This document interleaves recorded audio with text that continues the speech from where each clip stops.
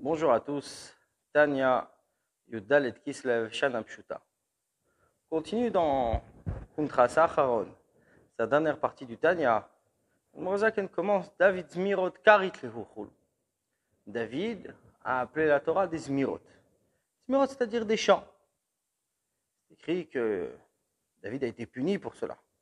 Parce qu'il a appelé, il a dit Zmirot Ayuli Chukecha. Tes décrets, tes lois, étaient des Zmirot, étaient des chants. Donc, Dieu l'a puni.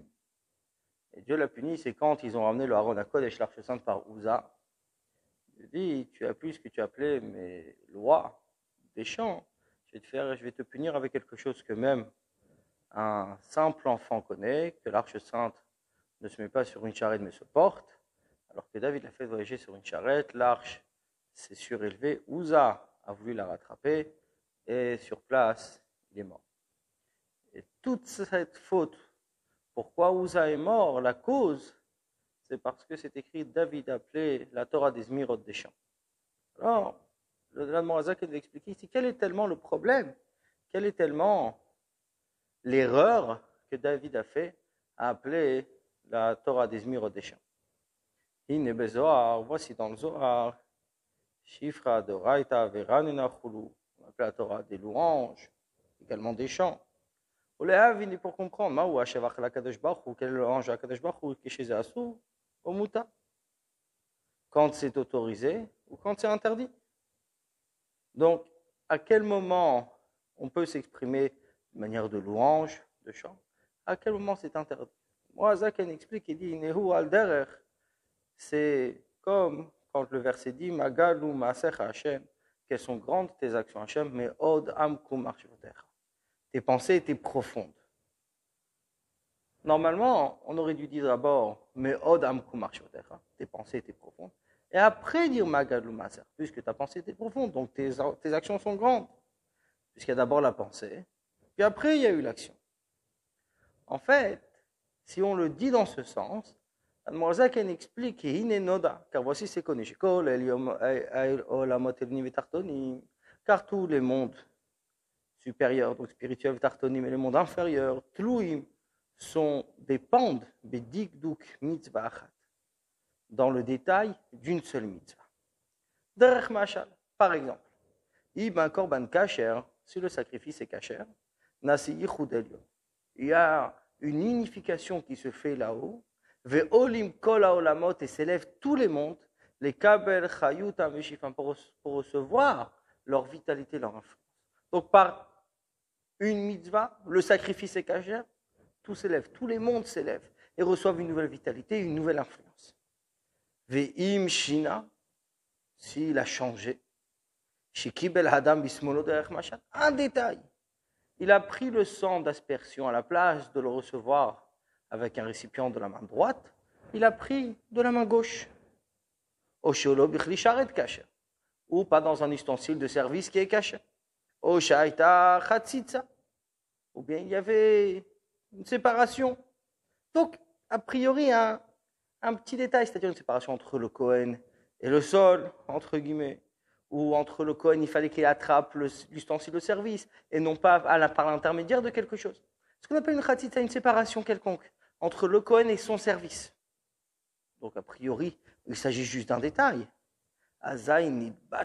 Mais ce détail fait en sorte qu'on annule Aliyot, à Olamot, l'élévation des mondes, Vechayutam, leur vitalité, Veshifam, et leur influence, Mechaya, Achai, Mensov, Baruch, de la vie des vies, qui est l'infini de Dieu, béni soit-il. Vechein ainsi. Mitfilin Kshero, des Tfilin Kacher. Mitgalin, Mochin, Elionim, Dezum.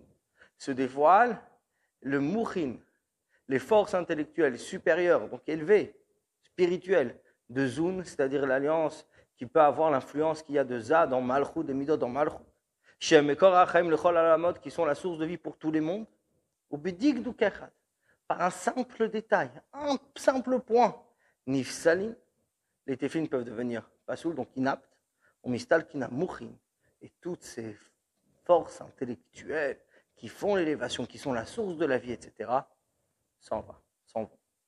C'est-à-dire qu'un détail peut tout faire partir. Et de même. Il s'agit dans les détails des mitzvot négatifs. Vilkar, c'est pour cela. Amidbonen, celui qui réfléchit, qui médite sur le verset Magad ou Maase Hashem, quelles sont grandes tes actions Hashem. Shibiri, Boya, Olamot, qu'avec les nombreux mondes spirituels et tout ce que Dieu a créé, et tous les astres et tous les niveaux, et tout est annulé complètement dans son essence. Les Torah, par rapport à un détail de la Torah, qui est la profondeur de la pensée suprême et son, sa chorma, sa sagesse, béni soit-elle. que par un petit détail, Olim kol olamot, monde, s'élève tous les mondes. Omekablim chayutam, shifam reçoivent leur vitalité, leur influence. Ou à l'inverse, qu'à Dieu ne. C'est-à-dire que quand la mitzvah est faite, dans tous ces détails, tous les mondes s'élèvent et l'effet que ça a spirituellement. Alors que si il manque un détail, c'est exactement le contraire. bonen, par ça nous allons réfléchir, la grandeur de la profondeur de la pensée, béni soit. au niveau de illimité, sans aucune limite. Ou sa qualité, les Ein Keit Vetachlit peuvent s'élever à l'infini. Alma Kololamot, sur l'évasion de la vitalité des mondes tout entiers. Chez Kol Chayutam, que toute leur vitalité, de tous les mondes, Shofea est influencée, découle, Midigduk Echad Mimena. D'un seul détail, d'un seul point. Tous les points, tous les détails sont bons, il y a l'influence. Il manque ne serait-ce qu'un seul détail. Cette influence ne peut pas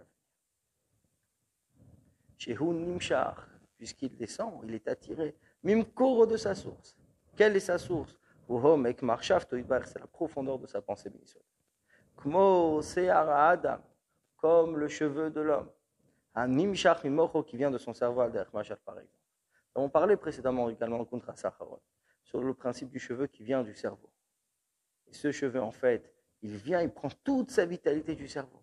De là découle énormément de lumière, etc. Le Kanoda, comme c'est connu,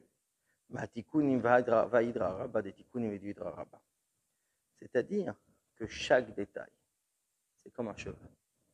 Un cheveu qui découle, qui prend toute sa vitalité du cerveau lui-même. Mais de même, chaque détail de la mitzvah prend toute sa force de l'essence même d'Akadosh Baruch, de la pensée divine, de la sagesse de Dieu. Et de cette pensée, chaque détail de la mitzvah découle et dépend. Tous les détails sont là, l'influence descend pour les mondes tout entiers. Tous les mondes spirituels. Il manque un détail, il ne peut pas avoir cette influence. Et c'est là le Magadlou. Magadlou Maaser Hashem. Quelles sont grandes tes actions Hashem? Avec tout ce que tu as fait, tous ces mondes et tous ces niveaux, etc. Mais oh dame, la profondeur de ta pensée, qu'elle est grande et qu'elle est nombreuse, qu'il faut appliquer la mitzvah dans tous ces détails afin de faire grandir toutes tes actions, toute la création de tes mondes. Et ça, ça a été la réjouissance, la joie de David Amelech